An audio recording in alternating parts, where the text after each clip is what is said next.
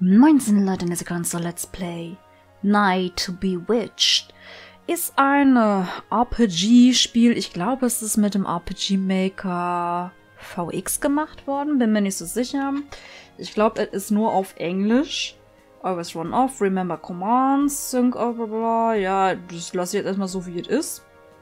Ich mache direkt ein neues Spiel. Es ist komplett auf Englisch. Ich versuche es simultan zu übersetzen.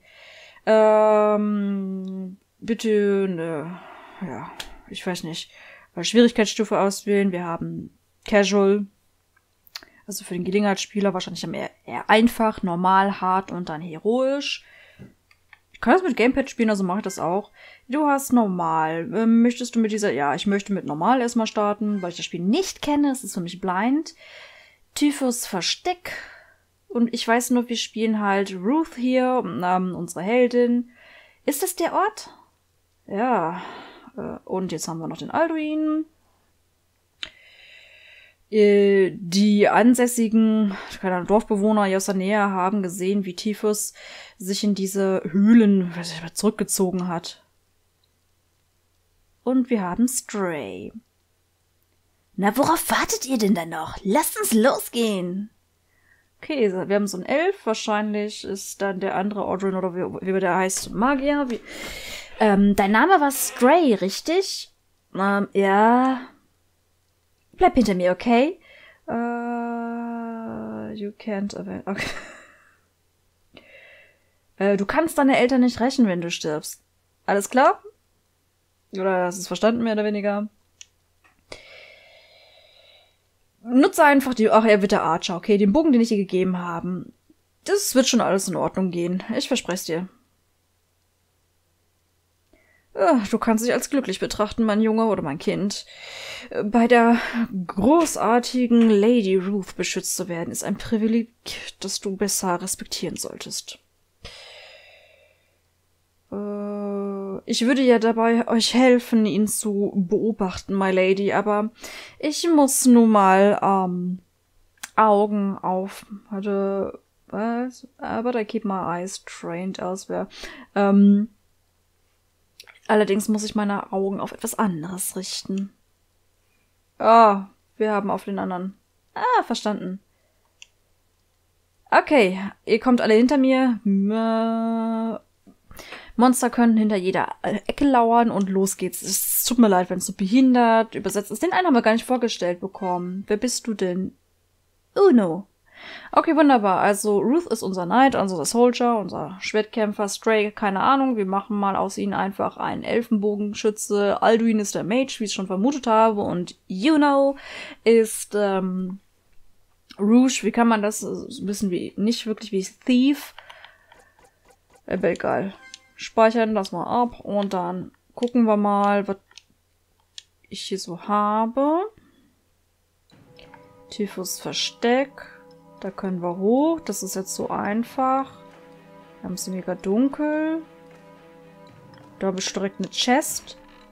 Ja, ich habe einen Tonic gefunden. Ich denke, das ist immer so ein Trank. Und ich habe, oh cool, 5G für Gold wahrscheinlich. Und wir machen das ganz krass. Oh, wir haben Baby Bats. Bad Bee, I'm a Bat. Ich liebe Fledermäuse. Oh, krass. Oh, der ist nicht so gut, aber ist auch ein Archer. Yay! Wir waren erfolgreich und haben jetzt ein bisschen Stuff bekommen und vor allem XP. Also wenn die Gegner so schwach bleiben, habe ich überhaupt kein Problem damit. Eine Fackel.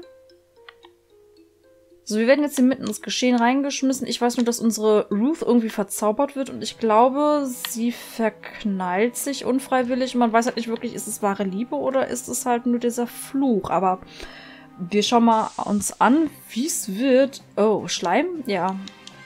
Komm, wir klatschen alle Malen auf ein. Ja. Oh, ich finde das ganz schön gemacht, dass man oben auch sieht, wer ist wann in welcher Reihenfolge dran. Das ist nett gemacht. Gut. Ihr beiden macht mal... Ja, eigentlich kannst du dann aufs Slime B gehen, weil der eine braucht sowieso nur einen Treffer. Bam, weg. Kacheng. Ist schön gemacht. Ich finde es natürlich noch richtig Bombe, wenn da mehr Animationen werden wie bei Vampire Storm. Ich weiß auch gar nicht, ob das Spiel etwas kostet. Ich habe es halt, wie gesagt, bei Keymailer umsonst bekommen, habe es gesehen, habe mich registriert und habe da den Key bekommen. Das ist auch recht schnell. Also dafür nochmal danke. Wahrscheinlich wird der Entwickler mich gar nicht verstehen, weil ich eine deutsche Kartoffel bin. Yay! Aber ich finde diese kleinen Animationen sehr süß. Also hier von wegen, dass der Sack aufgeht. Fun Fact, ich weiß, wie es funktioniert. Du brauchst einfach nur, ähm, ich nenne jetzt mal, ich, ich bin mit den Begriffen Charset und Chipset groß geworden. Das heißt, ich platziere ein Event und habe zum Beispiel diesen Zoom-Sack. Ich mache dann in dieser Event-Ebene eine zweite Seite auf und packe halt einen anderen Sprite von diesem Sack, der dann offen ist. Versehe das alles mit einem Switch und ähm, klicke zum Beispiel in der ersten Frontkarte an ähm, einmal diesen Satz, du hast jetzt 8G gefunden und dann ähm, Switch on, zum Beispiel Sack auf und auf äh, Registrierkarte Nummer 2 ist dann halt dieser Switch aktiviert, von wegen Switch auf und dann blam. Du kannst noch einen Wait einfügen, dass es halt ein paar Sekunden braucht. Okay, es ist verschlossen. Oh, ist automatisch jetzt Cutscene. Ernsthaft? Äh, Dragon Highspeed. Was für eine Art von feiger Drachen verschanzt sich hinter so einer scheiß Tür, Junge? Ich habe jetzt irgendwie keinen Schlüssel hier herumliegen sehen. Ähm, also, Uno, würdest du... Natürlich. Okay, also durch als Lockpick ist der Sache ist wie ein Thief. Ähm, so, also, Uno ist dein echter Name, oder? Ah, es ist die Abkürze für Unknown, also unbekannt. Äh, all die äh, Male, wie er gefangen wurde, hat er niemals seinen echten Namen preisgegeben. Ach, der King, bzw. der König, der Idiot, hat ihm sogar so weit vertraut, ihn aha, für uns anzuhören, aber ich traue ihm nicht über den Weg. Ich bin mir ziemlich sicher, er wird uns, dem Moment, dem wir ihm die Rücken zukehren, hinterrücks erstechen. Glaubst du wirklich, dass er das machen würde? Natürlich. Warum sollte er es nicht tun? Er ist ein Assassine. Oder ein Söldner, wie man es auch gerne als übersetzt haben möchte. Unschuldige Menschen zu töten ist nun mal das, was er gerne tut. Ich weiß nicht. Weißt du, ich, ich habe jetzt nicht wirklich so die Vibes von ihm, dass er das macht. Wie. Ich weiß auch nicht. Er würde uns jetzt nicht wirklich wehtun, solange wir ihm nicht wehtun. Verstehst du, was ich meine, Kollege? so ein kleiner, naiver Junge. Hey! Ich würde mich umdrehen und sagen, er willst mir die Schnauze halten, aber ist okay. Okay, alles geklärt. Ja, das klar Weil ich weiß nicht, war da unten jetzt noch eben was? Unten links? Ja, gucke mal. Truhe! Ja, eine Potion zum Heilen. Geil. Dann ist Tonic wahrscheinlich sowas für MP. Oh, ich habe einen Leinenhut gefunden. Wie sind denn wir denn equipped? Head is nothing, also empty. Dann machen wir mal... Ja, guck mal hier. Ne, wir sind ja hier sowieso der Hero.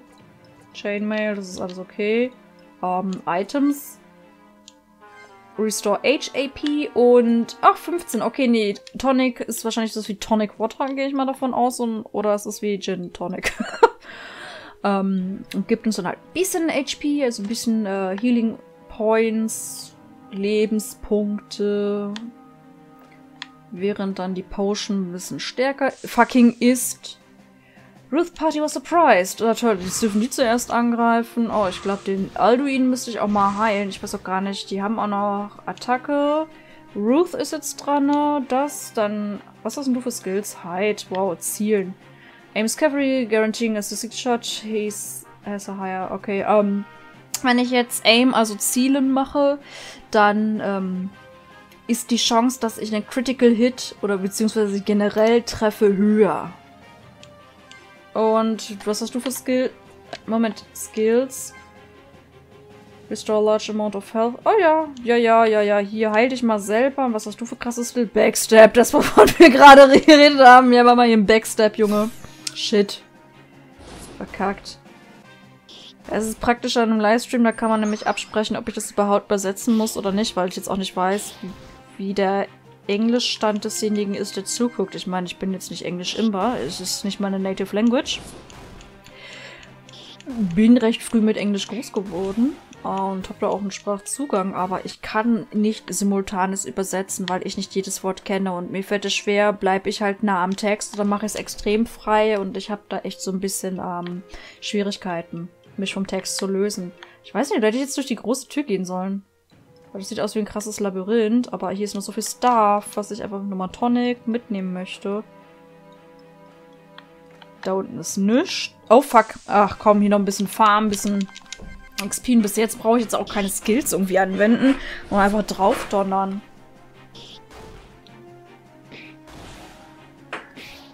Siehst ja, der Slime hier, der, der... Kein Problem, genau wie die Fledermäuse. Yeah, wir waren erfolgreich. Und ist Level... War das 3 oder 13? Ich habe gar nicht richtig hingeguckt. Truhe! Oh, Ether. Ether, also Ether ist dann definitiv ähm, für MP Life Powder ist wahrscheinlich sowas wie Trank der Ewigkeiten, Vampire Stone oder um Starre zu heilen, also tot. Nice. Ich bin ja so ein kleiner RPG-Veteran. Es ist halt, ich, ich mache sowas echt gerne. Ich beschäftige mich total gerne damit. Ich hätte auch Bock, da wirklich weiter an meinem eigenen Projekt oder an Projekten zu arbeiten. Ähm, ich würde gerne zum Beispiel ähm, an Undertale als Fanprojekt natürlich anknüpfen. Und zwar so eine Art Vorgeschichte mit den ähm, sechs toten Menschen dann letzten Endes. Dass man so ein bisschen etwas so Fanfiction-mäßig über die erfährt. Da würde ich gerne was machen, mein eigenes Spiel promoten. Oder was promoten ist mal weitermachen. Lockpick. Kaputt klatschen. Komm, tritt ein die scheiß Tür. Ah, irgendetwas blockiert die Tür von der anderen Seite. Hm. Ich könnte diese Tür in Brand setzen, aber das wird mir immer noch nicht verraten, was sich auf der anderen Tür auf der anderen Tür auf der anderen Seite befindet, die dumme Nuss. Nein, krabbelst du jetzt rein? Ich habe eine Idee. Ich werde einfach durch dieses Loch kriechen und von der anderen Seite die Tür abschließen. Warte mal, du kannst doch nicht auf die andere Seite. Verdammt, dieser idiotische Junge. Er wird noch bei sich selbst, er wird noch getötet, wenn er nicht weiter aufpasst. Der Idiot. Ah, wir sollten ihm nicht erlaubt haben, mitzukommen. Jetzt sei doch nicht so hart mit ihm. Geh doch einfacher mit ihm ins Gericht, Alduin. Was würdest denn du tun, wenn dein ganzes Dorf ja in den Grund und Boden gebrannt wurde, wohl eher gestampft? Wenn deine Eltern gekillt worden wären, genau vor deinen Augen? Ja, du wärst auch drauf und dran, dich einem, einem Trupp anzuschließen und dann alles zu rächen, ne? Genau. Du würdest genauso wie er Rache haben wollen. Wenn wir ihm nicht diese Möglichkeit gegeben hätten, mit uns mitzukommen, wäre er allein so oder so losgezogen. Und wenn er das getan hätte, wäre er tot. Ich nehme an, ihr habt recht, my lady. Gut gemacht, Stray. Heißt Stray nicht irgendwie sowas wie Streuner? Piece of cake. Also easy peasy lemon squeezy. War jetzt nicht so wild. Oh, ich weiß nicht, ob ich hätte jetzt zurückgehen sollen zu dieser dicken Tür. Weil ich nicht weiß, wo richtig und falsch ist.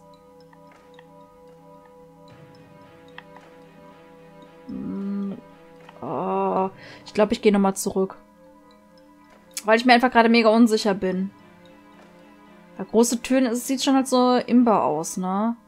Ist hier noch irgendwie was an Stuff, was ich mitnehmen kann? So quasi auf dem Rückweg hier.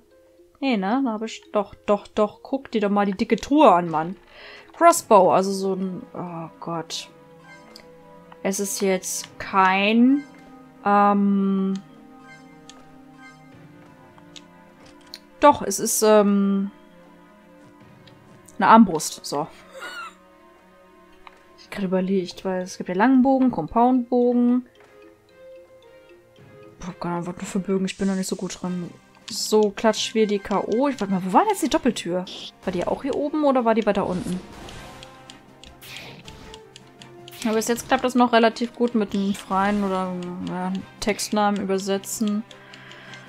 Boah, ich sehe es schon kommen, wenn da irgendein Wort oder mehrere Wörter auftauchen, die ich nicht kenne. Dann, ich sag jetzt schon mal an dieser Stelle, tut es mir leid. Bitte habt Erbarmen. Ne? Ich versuche so gut wie es geht, alles ordentlich zu übersetzen.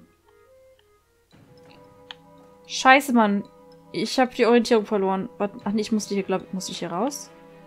Hallo? Durchs... Ach, wir sind durch die dicke Tür gegangen. Okay, ich habe ich hab die Orientierung verloren. Das ist nicht so schlimm. ich würde den Part jetzt sowieso an dieser Stelle beenden. Das heißt, äh, wir sehen uns beim nächsten Mal wieder. Ich wünsche Ihnen noch viel Spaß und way!